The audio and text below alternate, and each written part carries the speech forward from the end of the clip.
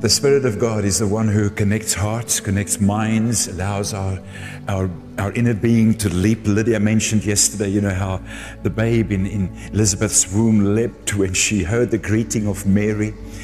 And when we discover what we carry, you know, for Paul, this is such a focal understanding, such a pivotal thought that the mystery that was hidden for ages and generations is not Christ hiding somewhere in history or somewhere in our future expectations or even somewhere in outer space, but it's Christ very present, Christ in you.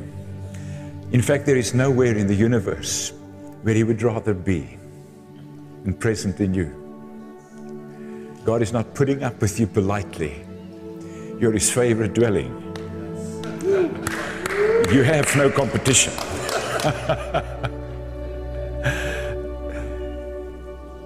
he says to Jeremiah in chapter 1 and verse 5 I knew you before I formed you in your mother's womb. That's a shocker. He knows you better than what you know yourself.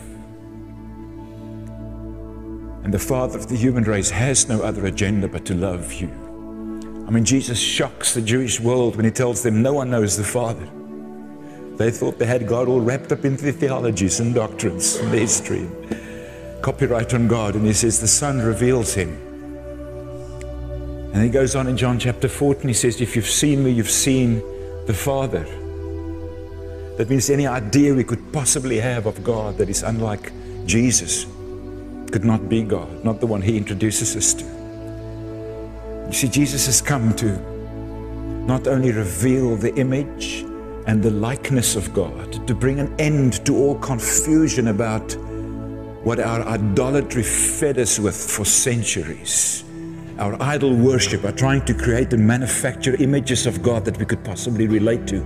He comes and gives distinct image. Colossians 1:15 says he's the image of the invisible God. I mean that means that God could never again go invisible on the human race. God had no other agenda but to express himself, his own being in human form. I'm so glad that Jesus' mission was not to start the Christian religion. He did not arrive on this planet to win a few desperate votes for the Christian cause. He had a much larger agenda. He came to exhibit the invisible creator of the universe, the architect of the universe, the engineer of your being. He came to exhibit him not as in a display window, but as in a mirror. So with unveiled faces, we may now, all of us, behold his image, his glory, resident.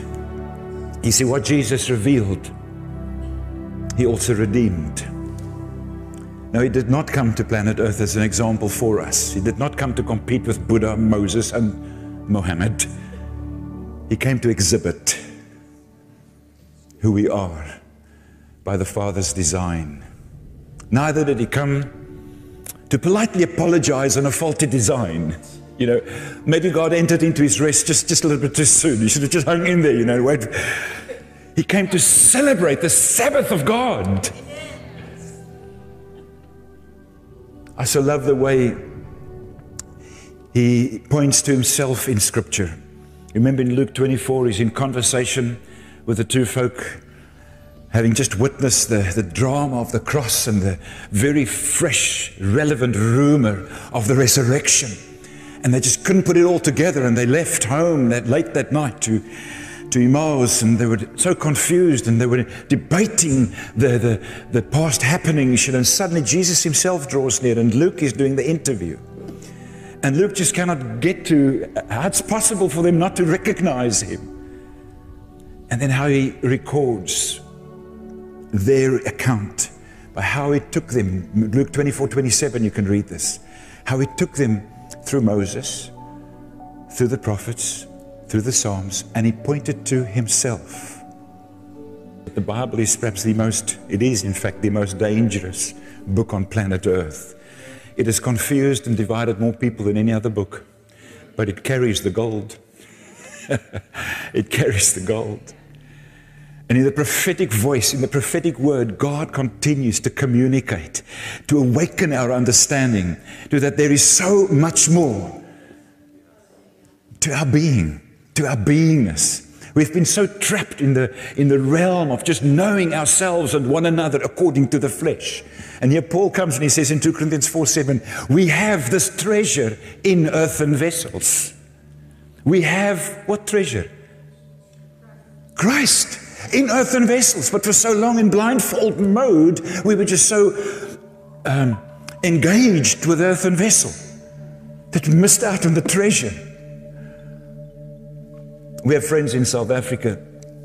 They, um, there's a beautiful story connected to their, um, to their history. The, the, the old grandmother who's passed away some years ago now, she was engaged to marry one of the wealthiest farmers in South Africa.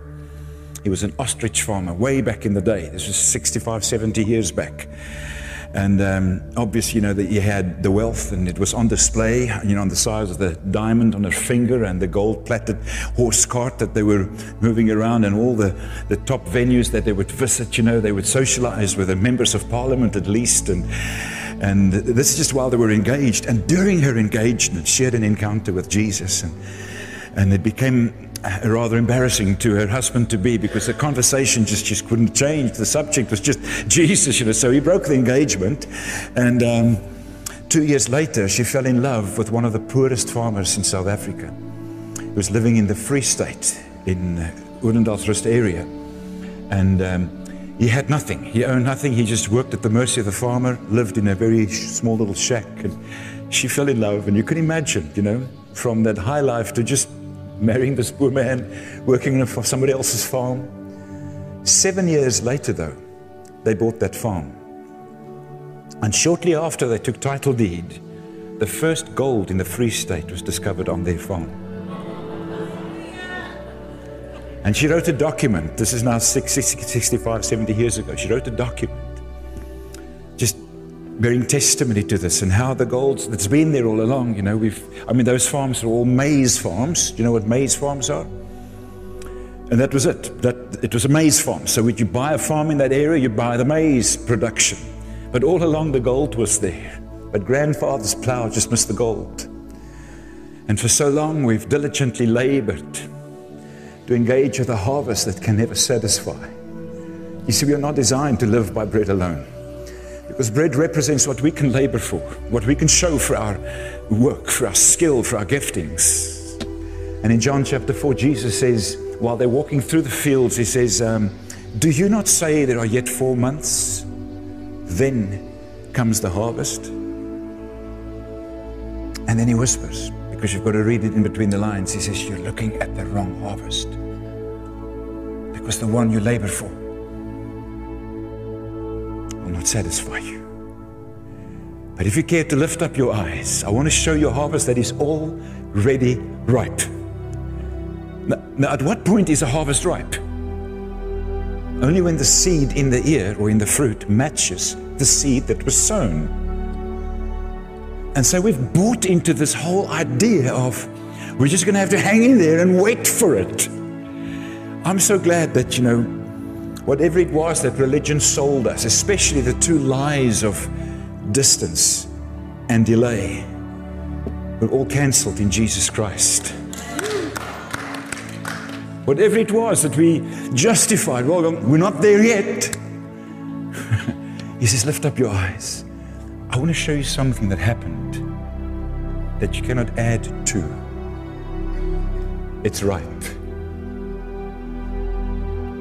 You see, when Isaiah speaks about this in Isaiah chapter 40, he says that voice cries in the wilderness, and the voice says, Every high place shall be brought low, every valley shall be filled up, every crooked place shall be made straight.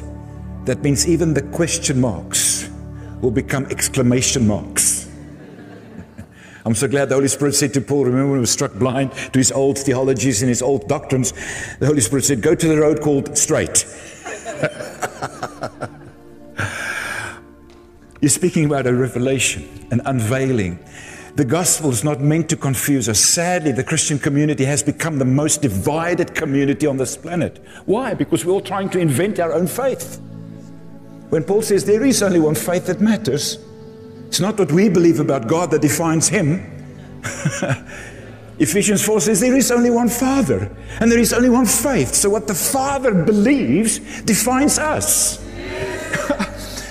and you know what? Jesus is what God believes about you. He didn't come as an example for you, but of you. He didn't come to entertain you with, with new possibilities. I mean, the ugly duckling. Do you get the ugly duckling story in America? He wasn't confronted with a potential swan. You know, if, if you really go through all these facelifts and how to fake the swan life courses, then maybe eventually you can qualify to kind of be upgraded to swan life. Jesus says, if you continue in my word, the original, not even the red letter edition, the word that was before time was, the idea of God, the Logos, the logic of God. If you continue and you follow the prophetic pattern and its completeness in time, when the fullness of time arrived and his presence was made known, and he came to redeem the treasure, he came to unveil his nearness Jesus did not come to reveal the otherness of God, but his likeness.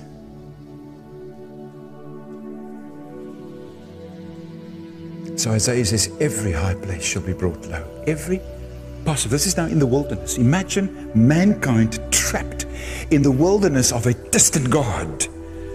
And God says, I will cancel every definition of distance through one act of righteousness. I will step into your world and cancel everything that could possibly justify separation.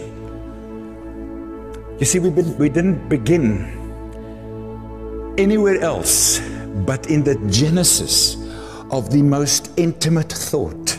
We began when Elohim declared, Let us make man in our image and in our likeness and what God revealed of his image and his likeness satisfied him. And he did not enter into his Sabbath rest because he felt exhausted. You know, even God needed a bit of a break. No, his Sabbath would become the eternal celebration of perfection. Everything that he is was on exhibit in human form. So Jesus did not come to apologize for a, for a, for a faulty design. He came to vindicate your form. We've so underestimated what it is that we carry. We've plowed the fields diligently, producing our own bread, and missed the gold. 2 Corinthians 4, just before Paul says that we have this treasure in earthen vessels. He says in verse 4 that the God of this world blindfolds the minds of the who? Of the unbeliever. You know that it means that the God system of this world the religious system of this, this world cannot blindfold your mind without your permission. He needs your handkerchief so that you can blindfold you. To keep you from seeing what? The light of the gospel. What does the light of the gospel reveal? The glory of God in the face of a man. The glory of God, but it was hidden all along. The geologists didn't go and sneaked into the farmer's land and they just wanted to be nice to the farmer. You know, sometimes we think that grace is a little bit like this, you know, that, that God just comes and he blesses us with a few gifts, you know, like Easter eggs, you know, it's all wrapped up neatly. And, and so he'll hide it. And then he goes the next day and he, he's like, knocks on the door. He says, I've got this report for you. There's gold on your farm. He says, No, there's not. I mean, oh no, my grandfather's grandfather plowed these fields and all they produced was just grain and bread and whatever it was. And, he says, No, I can come and show you. And they show you something, little, little, little deposit of gold. But then if you do this and that and the next thing, oh, you can get more. You see, religion needs paying and returning customers. So religion thrives on those two lies the illusion of distance and the illusion of delay. When Jesus declares in that triumphant statement in John 14 and verse 20, he says, In that day you will know that I am in my Father your knowledge does not put him there. But you'll know it. And what else will you know? That on the same basis that I'm in my Father, you're in me, and I'm in you. He has come to declare no distance, no separation.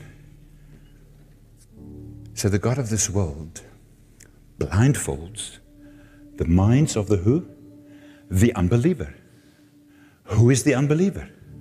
Is everyone who does not agree with God about their true design. Do you know what killed a generation of free people in a wilderness?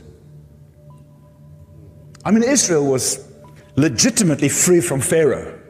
They could at no point blame Pharaoh for their wanderings in the desert. They went on a 40 year detour, not touching the promised land, but blessed by 24 7 miraculous events. Do you know that they died because of unbelief? Says Hebrews chapter 4.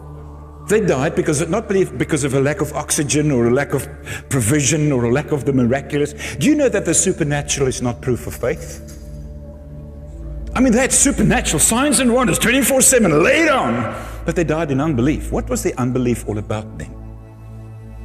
Numbers 13:33 says, 10 out of the 12. Normally the majority vote. It often works like that, you know, where 10 out of the 12 leaders, these spies were not volunteers, some brave, they were representing the nation of Israel.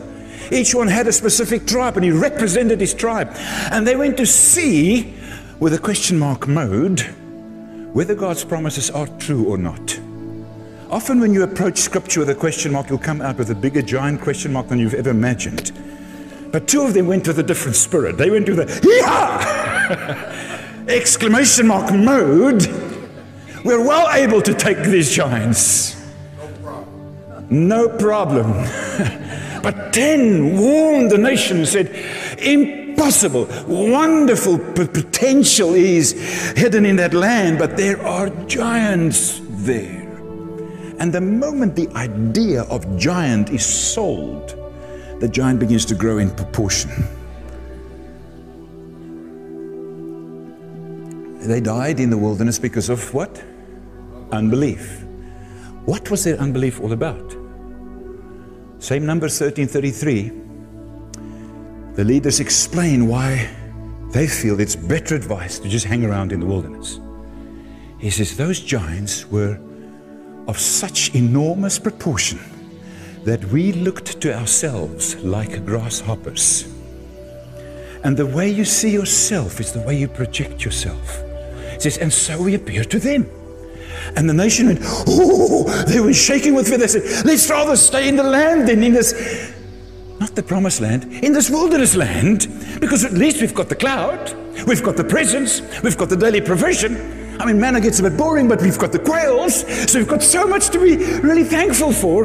And let's move everything in our theology over to the next world. And some golden daybreak, Jesus will come and do it, and then we'll enter Canaan. If all God wanted was you in heaven, why did He ever put you on planet Earth? When God swears by Himself and He says, As truly as I live, all the earth shall be flooded with the what? With the knowledge of my glory. It's already flooded with glory, but we just don't see it because we read newspapers. So we just see, oh, what Obama said now and what this guy did and this. And so our minds get so cluttered that we miss the glory.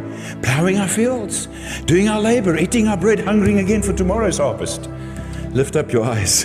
There's another harvest. Doesn't need your toil. Doesn't need your toil. It's a done deal. The gold doesn't lie there and think, oh, I hope it's going to rain tomorrow so I can become better gold. No, no, no. The rain's not going to do it for the gold. But this, discovering gold certainly does it. So here was Israel trapped in the wilderness of unbelief because they believed a lie about themselves. Their leaders convinced them that you're grasshoppers. And it's amazing how in our theology and our Western theology, how we've inherited the idea that we are miserable, ugly ducklings. God made a mistake when He made us. No, Jesus came to redeem His Father's integrity of your authentic design of your authentic design. You're an image bearer of Christ. You see in all three parables in Luke 15, when Jesus speaks about the lost sheep, the lost coin, the lost son, what does the word lost say to you? You cannot be lost unless you belong to begin with. So if Psalm 24 1 says, The earth is the Lord's, not by popular vote, by God's belief. How much of the earth shall we then add to? Oh, when we go into our like uh, Google modes and we say, how many Christians are there? You know, and we just, uh, for, just, just for the, for sake of statistics, we'll all group together. You know, we'll get even the, the churches across the road and the Catholics. We've got to get as many in as because we've got to do. We've got to try and weigh out the scale against them, the, the Muslims. So we've got to try and just establish a Christian presence on planet Earth. God says the earth is the Lord's and the fullness thereof the world and those who dwell in it. You know that a thief never becomes an owner. Not in God's logic, but in our theology, we give the devil ownership.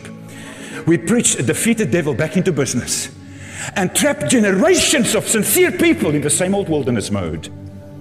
The goosebumps are there, the blessings are there, but we're not possessing the nations.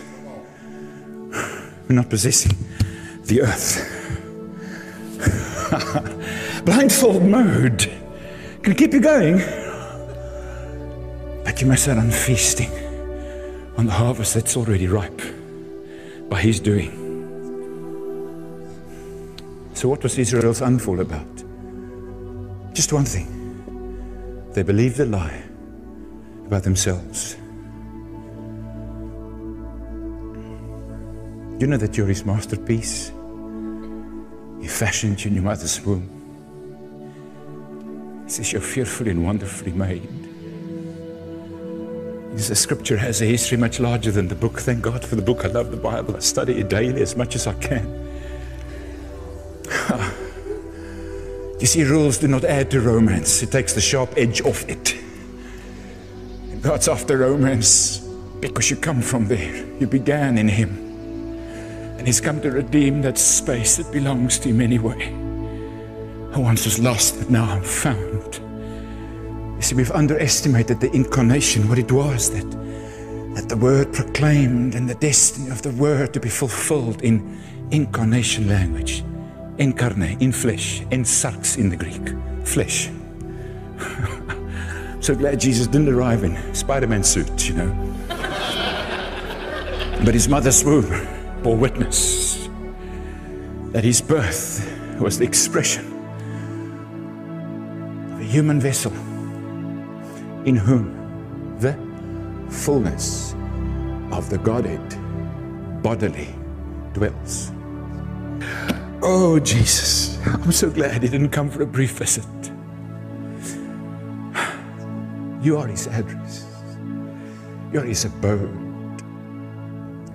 And he's come to redeem our minds from the lies that we believed about ourselves. If you fast forward Israel's history from Joshua 13 verse 33 to Joshua 2:11 this old generation died now. So there's a new generation and Joshua and Caleb. The two who saw the same giants but with a different spirit. Do you know that your view your idea becomes your eyes? And then they took the new generation into the promised land. And in Joshua 2.11, we, we read the account of how the two spies, I'm so, so, glad that Joshua left the other 10 at home this time. He just trusted two, so he sent two spies in. And these two went obviously in camouflage, then go around and say, We are Jews, we've come to take your city. No, they went in camouflage and they, they thought it was good to connect with, with one of the ladies of reputation who lived in the wall. And time, by the time she discovered that her two new clients are from Israel, she was shocked. Kind of said, What took you so long? Come on, we heard 40 years ago how your God delivered you from Pharaoh, from slavery. What took you so long? She says, And you know what?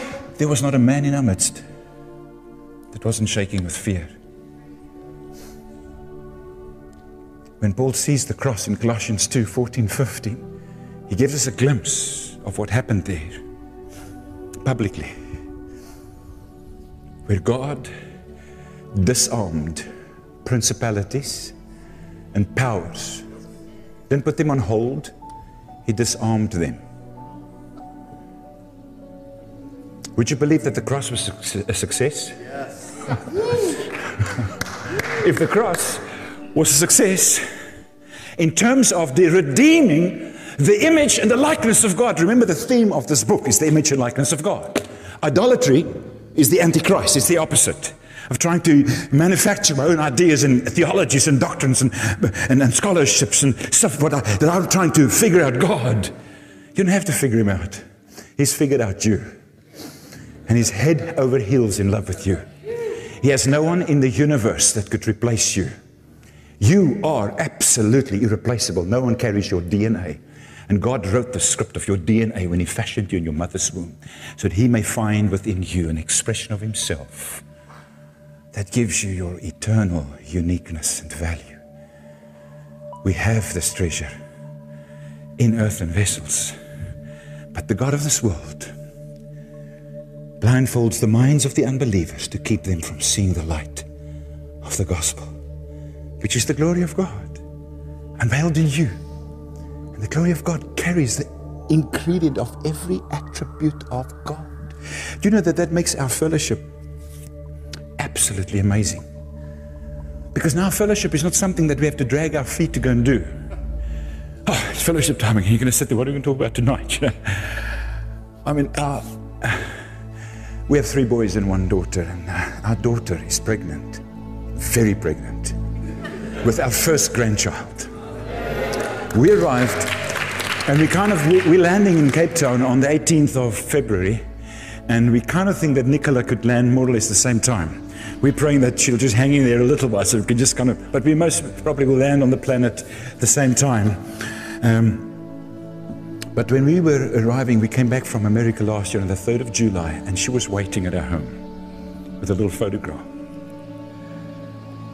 of what she carried, size of a peppercorn. We were blown away. We just stood there and wept. So glad to celebrate your birthday, my brother. We've taken so much for granted. But here we are. here we are in human form. You cannot be more present anywhere on this planet than what you are right now.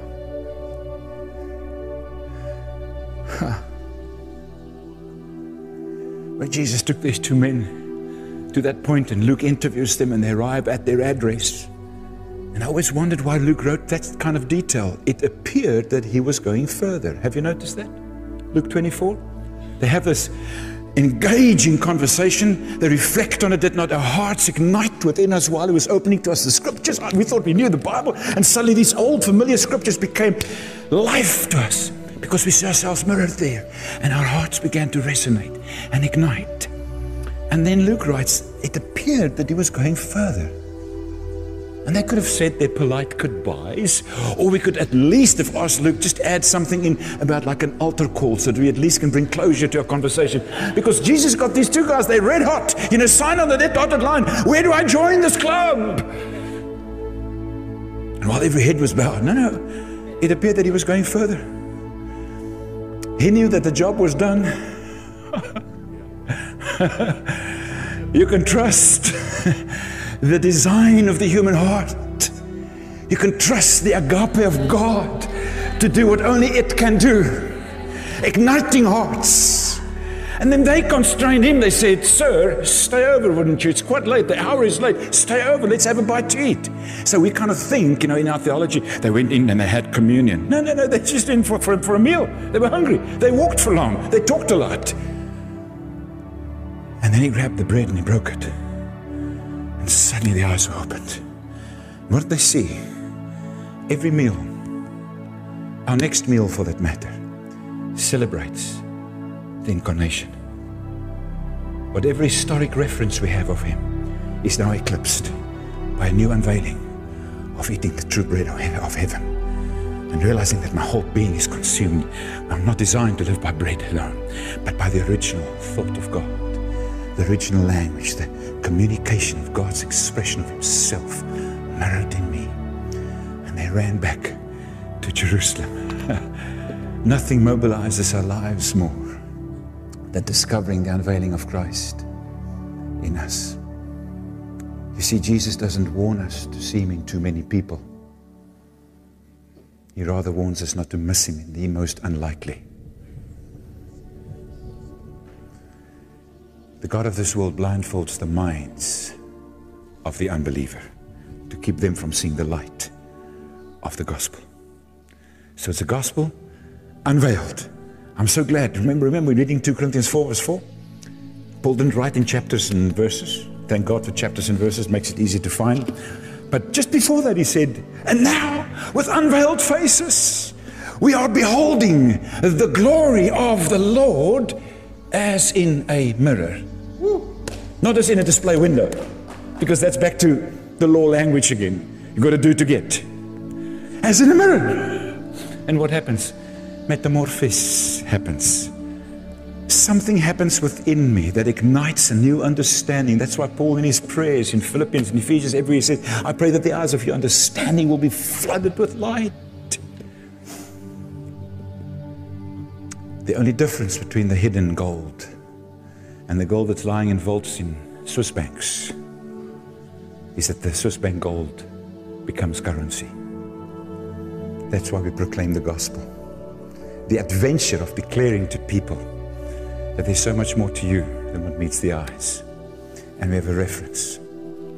The fullness of the Godhead bodily dwells in Jesus Christ. Colossians 2, verse 9. And that would have been an amazing statement. But verse 10 says, And you are complete in Him. So when we discover our true location, I mean, Lydia and I got here by GPS yesterday. Thank God for the lady that was doing this talking.